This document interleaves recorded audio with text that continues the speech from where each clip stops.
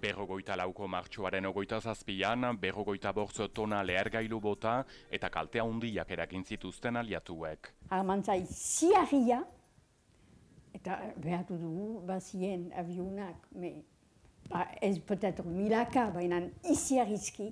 Hamabi urte terdintin, nik, eta eskola emaileak eman gintuen, eta lurpean sartzeko. Irurogoita hamar urte baina oroitzapen bizi-biziak. Eta haraman iziarri bat aitu du, Zilo hartan sartu ginen, eta ikusi egintin, derdiran. Horroitzen naiz, hori, han nintzen, eta pin, pan, alde guzietaik eh, tiroka izien, aireplan asko etorri ziren, eta alde guzietaik tiroka izien. Ba, ba, ba, senperetik aitu ginoen.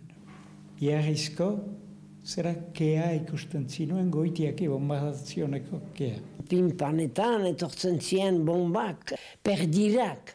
Nik eban bau izatut aztalian bat jo, Orotara teunta berrogoita bortzo lagun hil ziren horietatik lau aur eta gainera berreunta berrogoita hamar herritar zauritu ziren gaur zazpi hamarkada betetzen dira baina batzuek ez dute izua antzi. beldurra edo ez da esplikatzen al.